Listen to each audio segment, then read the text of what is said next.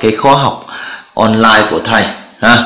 Thì uh, hôm nay thầy sẽ hướng dẫn tiếp cho các em ở bài 16 phương trình hóa học. Thì trong cái bài phương trình hóa học này thầy sẽ chia thành hai clip nha các em nha. Tại vì trong này nó có rất là nhiều bài tập nên thầy sẽ chia nhỏ ra để làm cho nó kỹ nha các em nha. Rồi bây giờ chúng ta sẽ đi sang clip thứ nhất từ bài à, 16.1 nha các em nha. Rồi chúng ta đi sang bài 16.1 Chép và vở bài tập các câu sau đây với đầy đủ các từ và cụm từ thích hợp chọn trong khung. Như vậy ở đây ờ, chúng ta sẽ chọn những cái từ ở trong khung này để chúng ta điền vào chỗ trống này, các em hiểu nào? Như vậy ở đây thầy ờ, sẽ thay vì viết lại thì thầy ký hiệu ở những vị trí để thầy chỉ cần ờ, điền thôi. 3 này 4 này 5 này 6 này, không này 7 8 9 10 11 12 thì thầy à, sẽ điền tương ứng à, nha các em nha. Như vậy ở đây là thầy chỉ viết trong giấy thầy đây là một này, hai này, ba này 4 này 5 này, được chưa? 6 này 7 này 8 này 9 này 10 11 12 rồi tiếp 12 thầy sẽ đẩy cho em xem. Bây giờ thầy sẽ tiến hành đọc rồi điền cho em nhé. Phản ứng hóa học được biểu diễn bằng. Vị trí số 1 chúng ta phải chọn đó chính là gì? À, đó chính là phương trình hóa học. Được chưa nào? Phương trình hóa học. Như vậy một này chúng ta cần phải điền này là phương trình hóa học. Trong đó ghi công thức hóa học của các vị trí số 2 đây chính là gì? Chất phản ứng, đúng không nào? Đó, chất phản ứng, đây.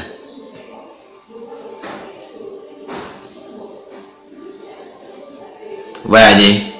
Chắc chắn là gì? Và sản sản phẩm, đúng không nào? Vị trí số 3 chúng ta cần phải điền đồng thời là sản phẩm.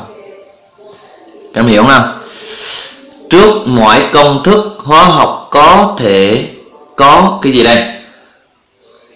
Cái phần gì? Cái phần gì mà có cái số ấy, gọi là hệ hệ số.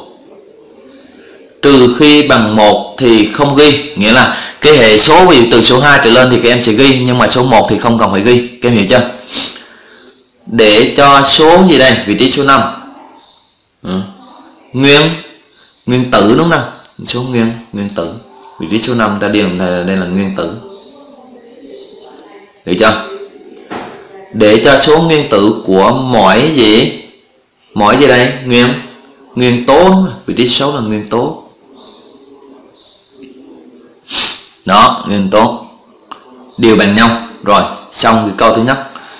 Từ gì đây? Từ gì rút ra được tỷ lệ số đây nè? Từ phương trình hóa học nha em. Phương trình hóa học rút ra được tỷ lệ số gì? Số gì? Ở đây, số nguyên tử đúng không nguyên tử. Phải số gì đây? Phân tử. Của các chất trong phản ứng. Vị trí số 10 là gì? Này bằng đúng tỷ lệ gì? Số 10 đây chính là gì? Tỷ lệ đúng không tỷ lệ này. Tỷ lệ này bằng đúng tỷ lệ gì đây? Ừ. hệ số hệ số. Trước công thức hóa học của các gì đây? Các các chất. Vị trí số 2 là các chất. Tương ứng được chưa nào?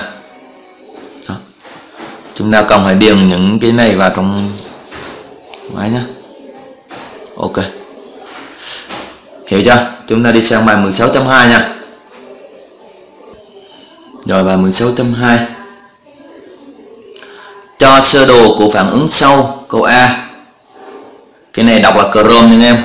Cộng oxy để tạo thành chrome ờ, uh, oxit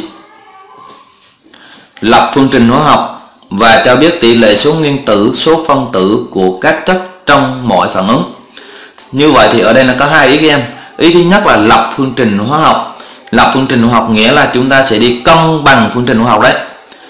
À, ý thứ hai là cho biết tỷ lệ số nguyên tử số phân tử trong các chất nghĩa là chúng ta sau khi cân bằng xong thì có cái hệ số tỷ lệ ở đây rồi thì chúng ta ví dụ như ở kim loại á thì như chrome đây là nguyên tử này oxy này là hai oxy nghĩa là phân tử này. Còn cái này chắc chắn là phân tử rồi tại vì nó từ hai nguyên tố trở lên đúng không nào? Như vậy thì ở đây chúng ta tiến hành cân bằng thì theo ở trong cái bài 16 phương trình học thì thầy đã hướng dẫn cho các em rồi. Thì chúng ta cân bằng uh, cái kim loại trước. Như vậy thì ở đây là một nguyên tử ở đây hai nguyên tử thì chứng tỏ ở đây là thiếu thiếu hai này. Có đúng nào? Hai. Oxy đây là hai đây là ba. Chứng tỏ cái uh, bội chung nhỏ nhất của nó đó chính là số 6 6 chia 3 thì được 2 6 chia 2 thì được 3 2 nhân 2 đi nghĩa là chrome đây là 4 được chưa? Rồi sau khi chúng ta cân bằng xong thì bây giờ chúng ta sẽ làm cái công việc đó chính là cho biết tỷ lệ số nguyên tử nè. Như vậy chrome đây là nguyên tử này đây là phân tử này đây là phân tử ha. À, như vậy thì chúng ta có này ừ, chúng ta ghi thầy cái này. À, số nguyên tử ha. Số nguyên tử chrome các em cứ ghi như vậy thôi ha. Chia này chấm hay chấm này. Tỷ lệ gọi là tỷ lệ này. À, số phân tử O2 ha? À, số phân tử. À, CR2O3 nghĩa là chrome oxit nó sẽ bằng đúng cái tỷ lệ này các em. 4 3 2 ha? 4 này chia 3 chia 2 rồi xong. Ok. Chúng ta đi sang câu câu B ha? Câu B câu B. Rồi ok. Câu B. Rồi, sắt cộng với brom cái này là đọc là brom tạo thành sắt brom mua nè các em sắc brom mua. Mua ở đây mà đi chợ mua nè những em nó là muối sau này chúng ta học lên lớp 9 nó sẽ là muối. Như vậy thì ở đây à, chúng ta sẽ cân bằng. Sắt đây một nguyên tử sắt đây một nguyên tử sắt đủ rồi. Đây brom 2 à, đây brom à, à đây uh, brom 3 các em được chưa? Brom 3 thì đây hai mà đây ba thì cái bội chung nhỏ nhất của nó. Đó chính là bằng mấy? Bằng à, 6 thì thầy chia 3 thì được 2 ở đây. Chia 3 à, chia 2 thì được 3 đây. Đây là 2 được chưa? Đây là nguyên tử này đây phân tử này đây là phân tử này. Như vậy thì chúng ta có là số nguyên tử sắc này. Chia cho tỷ lệ với số phân tử brom 2 này số phân tử.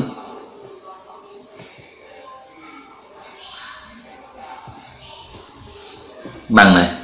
Tỷ lệ này 2 này 3 này 2 ok được chưa nào? Ta tiếp tục nhé rồi như vậy thì uh, chúng ta đã đi xong bài 16.2 chúng ta tiếp tục bài 16.3 nào. Thì cái yêu cầu à, bài toán à, nó giống như của bài 16.2 các em ạ. Nghĩa là nó cũng lập phương trình hóa học. Và cho biết cái tỷ lệ số nguyên tử, số phân tử của các chất trong một phản ứng, ha. Thì chúng ta đi làm câu A. Đây là kali chlorat này em. Sẽ tạo thành kali chlorua này, cộng oxy này. Ừ. như vậy đây 3 đây 2 thì đây là 2 cái này là 3 cái này 2 nên là phân tử này, đây phân tử này, đây phân tử này, được chưa? Như vậy thì ở đây chúng ta ghi là số phân tử KClO3 ừ, số phân tử KCl ừ, số phân tử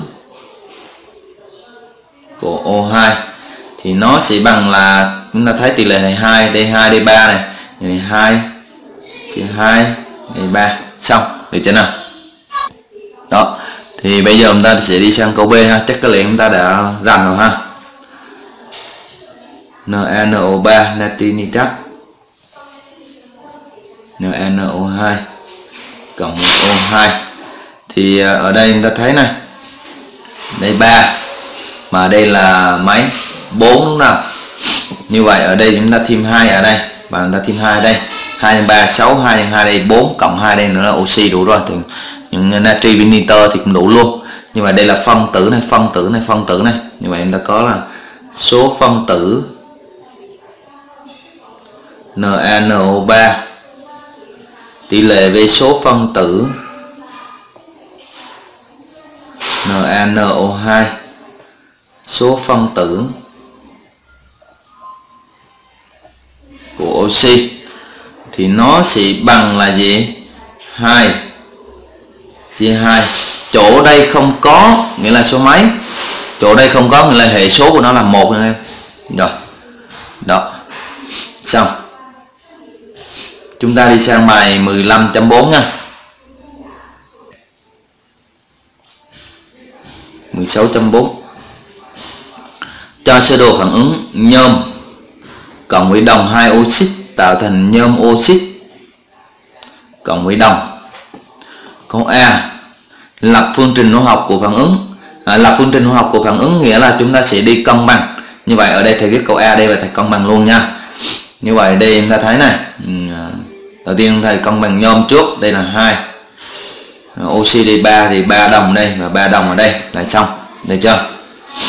Cho biết tỷ lệ số nguyên tử số phân tử của bốn cặp chất trong phản ứng tiêu chuẩn bốn cặp nghĩa là như thế này nè các em bây giờ thầy sẽ lấy một chất tham gia phản ứng với hai sản phẩm là thầy đã được hai cặp. Cứ một chất tham gia phản ứng với hai sản phẩm thì được hai cặp chứng tỏ với lấy cái thằng COO này với hai đây nữa là thành bốn cặp. Như vậy ban đầu thầy lấy nhôm à, anh đây là nguyên tử này anh đây phân tử này anh đây phân tử này anh đây nguyên tử. Cứ kim loại là nguyên tử nha các em nha. Như vậy ở đây thầy có cặp thứ nhất là số nguyên tử nhôm.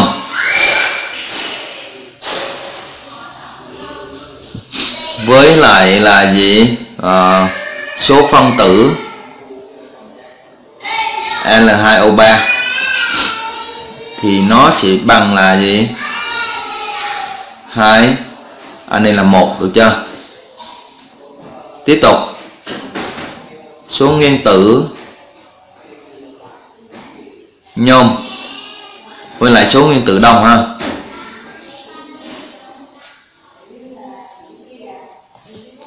Thì à, nó sẽ bằng ở đây nhôm chúng ta là hai, đồng chúng ta là là ba.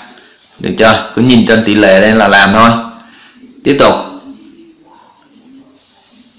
Xong với nhôm đúng không? Giờ tới COO cái này là phân tử nha. Số phân tử COO đây là số phân tử L2O3 thì nó sẽ bằng là số uh, phân tử ờ, uh, CO là 3 cái này là là một. Được nào?